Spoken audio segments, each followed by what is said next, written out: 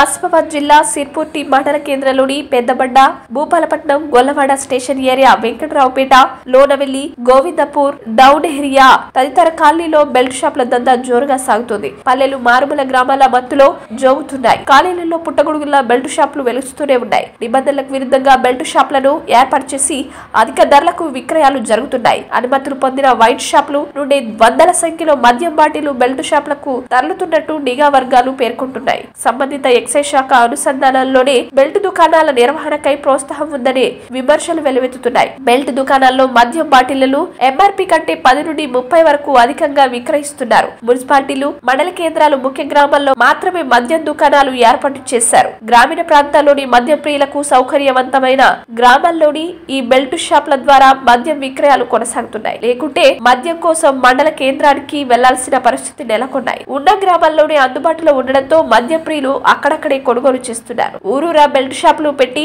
అనధికారికంగా అమ్ముతున్నారన్న విమర్శలు ఉన్నాయి.